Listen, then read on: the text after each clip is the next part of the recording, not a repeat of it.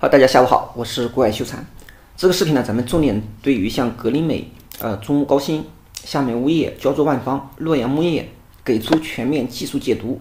好，仅供参考。那么有色板块呢，怎么看？咱们呢先看一下有色板块指数。好，那么像有色板块指数呢，今天是出现这样的一个反弹，并且放量。那么咱们前面给大家讲的一个核心点呢，像有色板块它对应的一个节点。是属于呢前面调整的比较深，那么呢调整过之后呢，它是遇到下方一百四十四天均线的一个支撑位置，开启了反弹。那么在今天之前，它的一个反弹呢，其实是弱势的一种状态。这个弱势呢，体现的是量能，一个是力度，一个是量能。力度的话呢，并不强，量能也没有明显的表现。那么咱们前面甚至给大家观察的是，如果说再往上，它一定要补量。只有补量的话呢，那么它才有可能会延续。好，那么今天的一个反弹的话呢，它是哎属于补量的一种走法，就是呢，像有色板块指数呢，它是属于嗯在五十三天均线上方。那么今天呢给出的是一个呃光头阳的一个走法。好，而且呢量能伴随明显的放大，而且今天这样的一个量能的话呢，它我们来看一看，今天这样的一个量能，它对应的话呢，实际上已经超越了。过去一二三四五六，好，这样的一个量能，那么像这样的量能体现出来，它代表的是有一定的资金的介入，包括呢人气的一个回笼。那么后市应该怎么去看？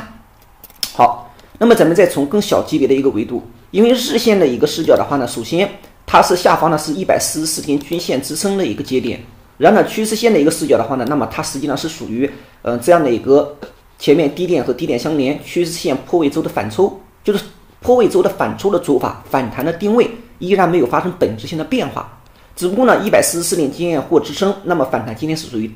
明显的放量，放量过之后呢，上方依旧考验这样的一个趋势支撑线的一个位置，同时呢，在趋势支撑线附近，它前面呢又有这样的一个平台，好，这个平台的话呢，可以把它作为一个呃小周期的一个压力所在。好，那么我们再来看用缠论视角再来看小级别的，那么五分钟的一个结构。那么五分钟的一个结构的话呢，咱们在前面，嗯，给大家讲的一个嗯视角，是从七百零六的位置以来，它可以把它作为这样的一个五分钟的嗯线段，五分钟的这样的一个线段上，那么呢，嗯，对应的，好考察的一个节点呢，就列出在昨天咱们的一个视角，好上下上，如果说回落不破前面的低点。那么走出这样的一个结构，那么呢，可以期待一个向上的这样的一个离开段，把它作为一个五分钟的嗯盘整来看。那么今天的一个走法呢，是属于嗯开盘过之后呢带量，就是在下跌当中明显的有这样的一个量堆的呈现，它代表有一定的资金接力，而后呢出现相应的反弹。那么在这样的一个维度来讲的话呢，它其实还是属于嗯五分钟的这样的一个线段的一个走法。那么我们再来看，用更小级别列出在一分钟。那么在一分钟的一个图形上面来讲的话，它的一个走法呢是属于一分钟的这样的一个盘整上，就是呢它属于一分钟中枢延伸所对应的这样的一个嗯盘整上的这样的一个结构。好，我们把这样的一个盘整上的区间给打开，打开过之后呢，那么后面的一个技术观察点就是在一分钟中枢上沿的一个位置。好。如果说呢，它能够进一步的哎往上走，然后呢走离开这样的一个小的一分钟的盘整区间，那么呢回踩不破，给出一分钟的三买，那么呢可以从一分钟的盘整上发展成为一分钟的趋势上。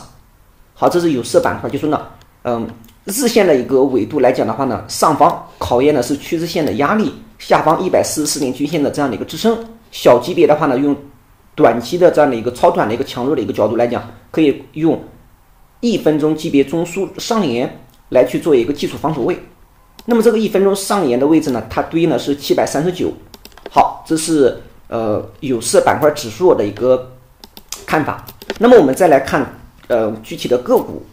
好，那么具体个股的话呢，我们来看整个有色板块呢，像今天出现了，因为出现了几家涨停板，那么不像呃吉祥股份这样的个股呢，属于超跌反弹的一种走法。好，张元物业呢是属于人气股的反包。好，那么人气股的反包的，那么像张元物业这样的个股，它对于呃，不管是有色还是稀土方向，它都是有一定的人气的一种提振，因为前面呢走过这样的一个龙头的作用，走过这样的一个属于前腰，处于这样的人气股的一个反包的一个做法。好，然后像中欧高新的话呢，这一只个股今天 咱们也要重点进行解读。好，那么咱们这是从个股的一个视角，那么我们来看呢，像有色板块当中列出呢，像。反弹，它是要么是属于人气股反包，要么属于这样的一个超跌调整充分的一个轮动。同时的话呢，嗯，列出像这里面不管对应的像稀土方向，就是小金属，还是说呢像铝方向，呃，铜方向，其实呢都有这样的一个嗯异动，但是呢异动的程度不同。那么咱们重点结合呢这几只个股，像格力美，好，那么像格力美这一只个股，它的一个技术表达，咱们前面讲了很多次。那么呢，咱们借助于嗯。缠论结构，包括呢筹码的一个视角。前面给大家讲的一个观点呢，是属于在这样的一个平台震荡。那么在这样的一个平台震荡的范围里面，其实呢靠近下沿的一个节点呢，就是呢回落是机会，反弹呢只要不突破，对应的话呢是风险。用这样的节点来去看。那么呢，当前我们再用五分钟的一个结构来去看，用五分钟的一个结构呢来看一下它的一个运行的节律。好，那么呢对应的列出呢，咱们前面给大家其实是这样详细的去表达过。从十块零七的位置一个下跌，它是有这样的一个结构的，上涨一二三四五，下跌一二三，上涨这个位置呢也是一个上涨震一下冲高，下跌有结构，上涨也是如此。那么当前的话呢，其实是可以把它就是向上期待的是一种日线，就是它已经由这样的一个中枢列出呢，这是一个五分钟的，可以把它作为这样的一个盘整下的一个走法，然后呢一个盘整上的一个呃走法。那么当前的话呢，其实从它的内部结构来讲，在这个位置呢，它属于这样的中阴。这个中阴呢，体现的是向上没有新高，向下的话呢，也没有给新低，还属于这样的一个中阴的一个阶段。那么在中阴的阶段里面的话呢，其实对应的个人的一个呃观察点的话呢，依然非常明确。那么呢，嗯，对待当前这个位置向上低，它确实是属于，如果说向上看，它是没有突破的。那么呢，向下看的话呢，那么它也是属于低点接近抬高。那么在这样节点的话呢，那么观察的一个视角，如果说向上反弹不能突破前面这样的一个高点的一个节点，一定要逢高去呃减重这种高抛的一个视角来应对。那么呢，如果说在这样的位置回落下来，回落下来的话呢，其实对应的前低附近，或者说呢破一下前低，只要说不破大的这样的一个平台，那么呢它对应的都是属于。低吸的这样的一个节点，这是用箱体的一个视角来去看待。好，那么我们再看用更小级别的维度来去观察，例如像一分钟，一分钟的话呢，我们重点来看它从八块，好，例如用一分钟的一个视角来看的话呢，那么它是属于，例如呢从八块三毛九的位置冲高回撤，再冲高回撤，那么当前呢它是属于这样的一个，嗯，可以把它作为一个最小级别一分钟这样的一个盘整上的一个走法。那么当前呢，还是属于一分钟向上离开段，那么所以说呢，像嗯格力美这样的个股呢，明天应该还能再往上冲一下，但是往上冲一下的话呢，考验前高。好，这个筹码的一个维度来讲呢，它是属于高位形成单峰密集，单峰密集的话呢，还属于这样的一个盘整的一个区间之内。那么什么时候能够带量向上突破，它可能会有新的起点，没有向上明显的突破之前，只能用这样的一个箱体的视角来进行把握或者是进行参与。好，这是格林美。好，那么呢？我们再来去看列出呢，像呃啊，对了，还有一个，还有一点，像格林美这样的个股的话呢，其实它如果说真的调整下来始终不破，那么呢是可以用更高的维度来去呃观测观测的一个节点的话呢，列说好，从三块七毛三的位置，可以把它做一个日线级别中枢延伸，那么当前的话呢，是可以把它作为这样的一个日线的中枢组建的过程当中，如果说它就是在股市当中有句谚语，就是“恒久必跌”。这句话呢，其实它只说了一半，什么意思呢？恒久了，它对应的其实恒的越久，它的趋势的这样的一个作用越强，最终一定要选择方向。那么向下选择方向的话呢，那么调整可能会成为一个下跌趋势的一个调整。那么反之，如果说恒久向上选择方向的话呢，那么它对应的是一个新的空间的打开。所以说呢，如果说始终能够保持在这样的一个平台之内，始终不不跌破。那么对应的话呢，它可以期待日线中枢向上离开段之后触发的这样的一个第二一个中枢形成。第二个日线中级别中枢一旦形成了，再期待向上离开段的话呢，那么它的一个上涨幅度是可以和前面这个位置做对比的。但是呢，因为前面是急涨，后面的话呢反弹过之后呢，一旦新高再就是离开段完成离开段的内部的话呢，好有这样的一个背驰的一个关系，那么呢就会触发出触发出新的这样的一个卖点。好，这是大的前提呢是不破这样的一个平台。好，那么我们再来去看，反之呢，如果说震荡的过程当中始终不能突破前面的高点，就是这个离开段始终不能成立，那么呢又要防范的是，哎，从十块零七的位置作为观察点，然后的话呢，哎，对应的是构筑这样的一个中枢平台之后呢，再向下走离开对吧，再考察下方这样的一个平台。好，这就是一个呃观察点的问题。那么我们再来看像中高新。中高新这一只个股的话呢，它咱们前面也是讲到过，它的一个更大的一个级别视角的话呢，是属于，比如说低点和低点相连，它是属于这样的一个趋势支撑线。然后呢，近期高点和高点相连呢，它是这样的一个压力线突破之后的回踩。那么呢，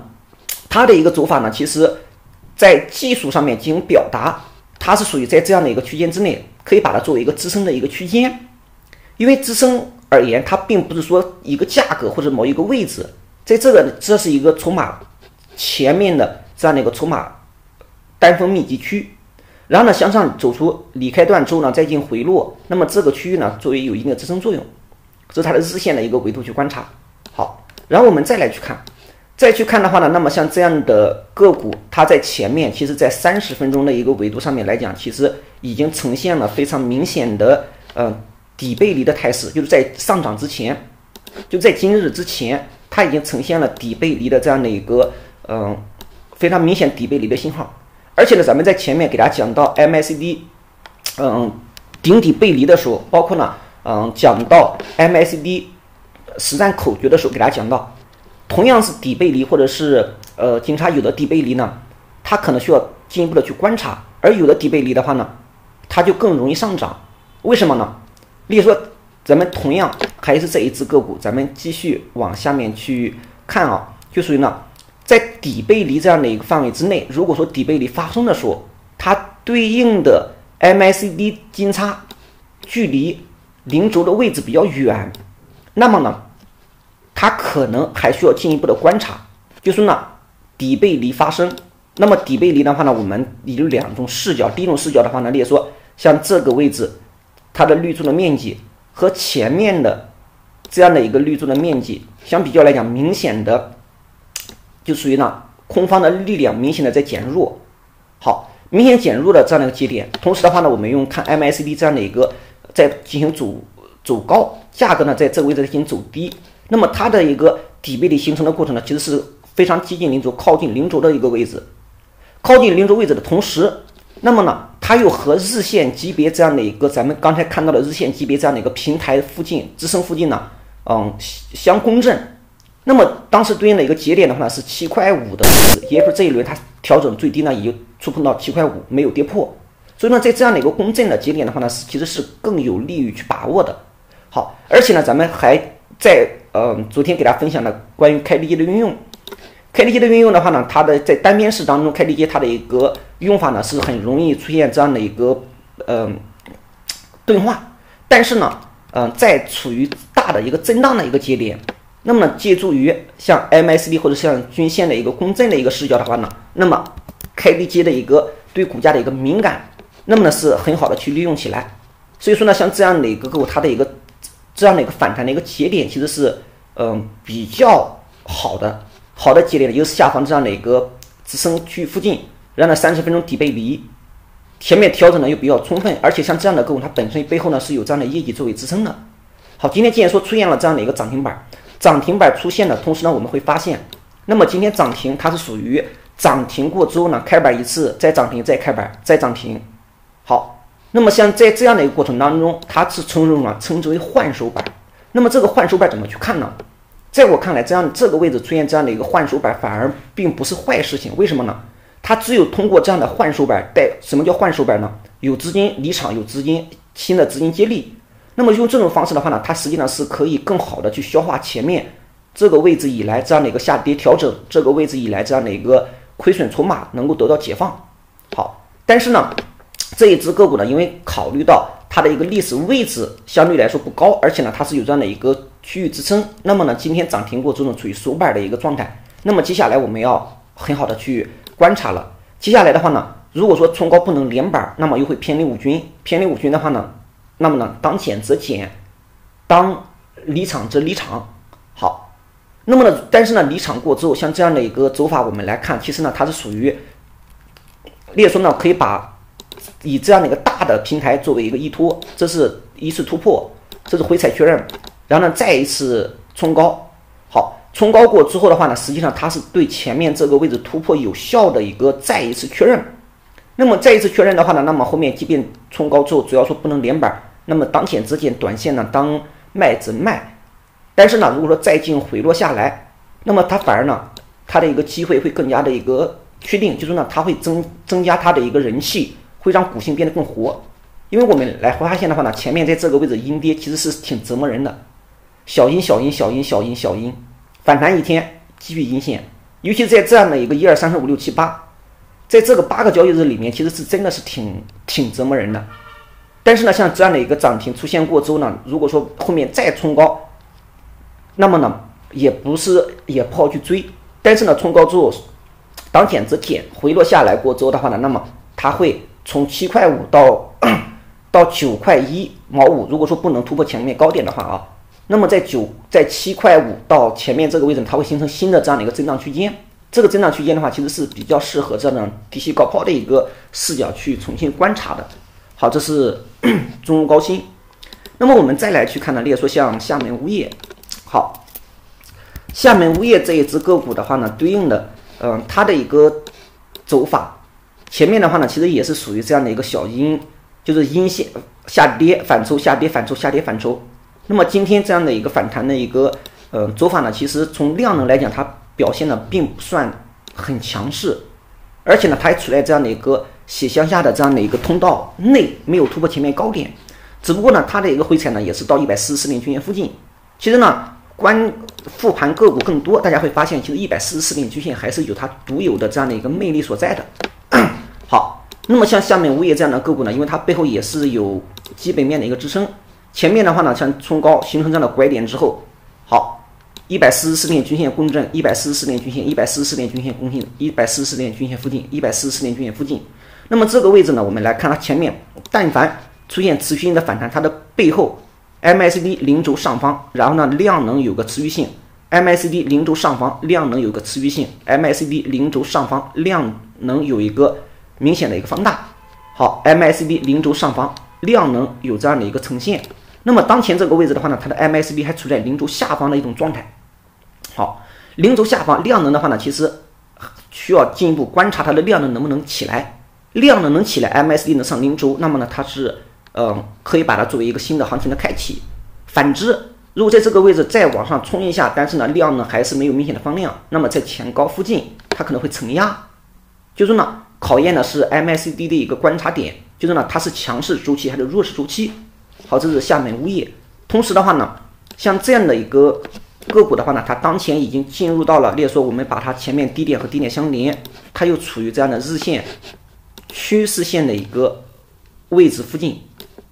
好，那么像这样的，如果说再进回落，始终不破一百四十四点均线，就是呢，如果说冲高强的方式呢，哎带量，MACD 上零轴。好，如果说不强的方式呢，冲高之后，那么呢面临回落，如果说再一次考验前低，以及呢一百四十四点均线这样的一个节点的位置，那么它又是一个新的观察点。好，那么我们再用嗯最小级别的缠论结构去看，最小级别的缠论结构的话呢，其实从二十三克九毛八的位置以来。它对应的话呢，其实是可以把它作为这样的一个，嗯，盘整下跌来进行看待。那么像这个位置呢，它对应的是一个好，是一个一分钟的这样的一个中枢。这样的节点呢，可以把它作为一个五分钟的这样的一个中枢去看，它是五分钟的嗯盘整下跌。盘整下跌之后呢，这是属于背驰一买冲高，好回落不破前面低点，背驰二买。那么反弹，那么当前。如果说再结合缠论的一个维度来看呢，反弹向上对应的一定对应的它是不是去追的，而是呢，嗯，逢高去减的，或者是它是可以把它视为组建这样的一个五新的五分钟的嗯中枢平台。如果说再往下不破前面低点，好，可以期待一个五分钟的向上的离开段。如果说向上的离开段走强，那么呢，对应对应的量能也起来，那么呢，它在刚才的技术维度当中，MACD 日线可能上零轴了，量能可能要有所呈现了。那么像这样的节点的话呢，它属于一个嗯突破的一种拐点，或者说五分钟把握一次三买的一个机会点，可能会更加稳妥一些。好，这是嗯下面物业对它的一个呃推演。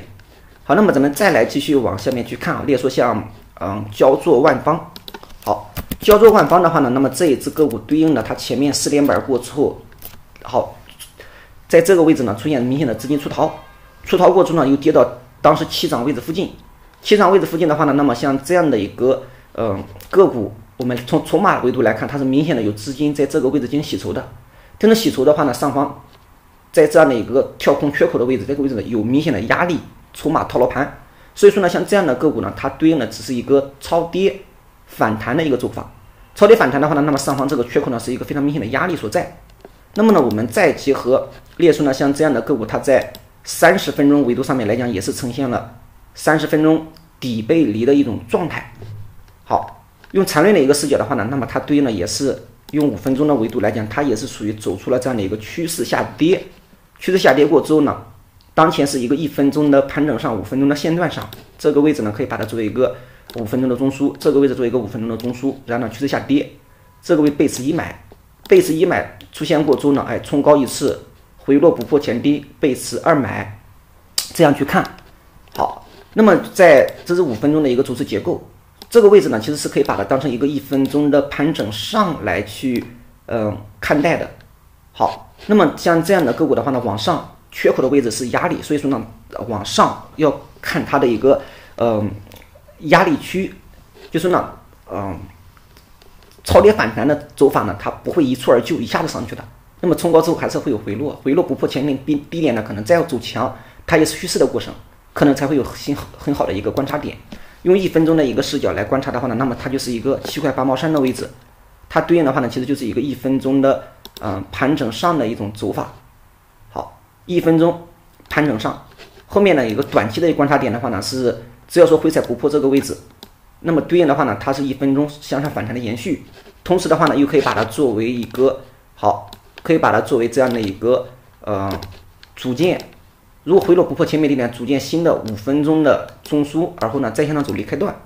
好，观察呢向下观察前低，向上的话呢它是有这样的一个呃上方有这样的压力以及缺口，所以说呢它的一个走法呢可能会。以震荡的方式冲高之后回落不破前低呢，还会再进行反弹。好，最后呢，我们啊，这是呃焦作万方。最后呢，我们再来看像洛阳钼业。好，洛阳钼业这样的个股的话呢，它对应的一个走法其实前面调整的比较深，非常明显。好，呃，从八块零五的位置一路下跌，那么呢，它下跌到什么位置？也是到一百四十四天均线的位置止跌。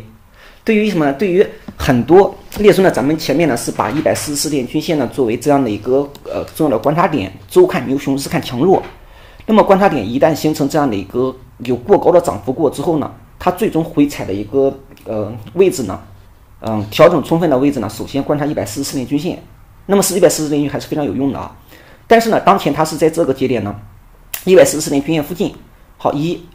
二、三、四、五、六、七、八、九、十。连续十个交易日，它也是有一定的筹码吸筹的，但是呢，这个吸筹的力度不够，就是呢，它上方还有大量的套牢筹码在这个地方，而且近期呢，微微有点带点量能，所以像这样的个股的话呢，它接下来应该还会还会经历一个磨底的阶段，就属于呢，因为上方一上方呢把这个位置呢，嗯，当成一个大的一个平台跌破，那么它是承压的，在平台上方的话呢，有一个筹码密集区域。这个密集区域的话呢，也可以把它当成一个压力区域。像这样的个股呢，它向上，嗯，不太容易直接上去。就说呢，即便冲高之后呢，它也会有回落。在这个位置，如果说震荡的时间周期更长，上方的筹码呢消化的更充分，后面呢再带量，它才有可能起来。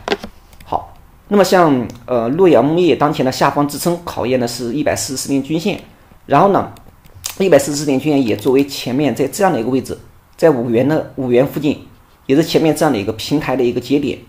好，这是它的一个支撑所在。那么上方呢又有这样的套牢筹码，包括呢有这样的一个平台作为压制来讲，所以说呢它可能还需要一个磨底的呃过程。然后呢，我们再用最小级别的缠论结构去看。好，最小级别的缠论去结构去看的话呢，它对应的其实也是属于前面。好，在这样的节点呢，它是一个呃一分钟的嗯中枢，在这个位置呢是由一分钟中枢延伸，可以把它作为一个五分钟中枢去看。好，而后呢给出这样的一个好下跌五分钟对应的这样的一个盘整下跌背驰，背驰当前的一个走法的话呢，其实是可以把它作为第二一个呃五分钟中枢组件来去看，因为呢它反弹还不破。没有触碰呢上方这个中枢下沿的位置，它只要不能突破这样的节点呢，它都是属于三脉，就是一买转三脉，回落不破前低二买，二买再反弹不破这个位置呢，也是二买转三脉的这样的一个节点。好，如果说回落再经过这样的一个一分钟的嗯走势结构或者下跌不破前面低点，那么呢，它对应的再往上还是要考察这样的一个这样的一个支撑，只不过呢，如果说向上力度稍强，那么呢，它形成这样的一个支撑区域。它就可以作为新的支撑作为观察点来进行跟踪了。没有形成这样的节点之前，那么这个平台就是以它的一个压力所在。好，这是咱们今天呢，更多的从列出呢，从嗯缠论结构，从 MACD，从均线的视角来进行分析，仅供参考。好，同时呢，修禅没有任何的助力，也不会呢给，就是也不会分享推荐任何的金融衍生产品、理财产品。那么呢，点到的方向个股呢，仅代表个人的观察视角、技术经验，好，不作为买卖依据。好，喜欢的朋友呢，记得点击关注，同时欢迎积极的留言点赞，欢迎分享，觉得不错呢，也可以进行转发。好，再见。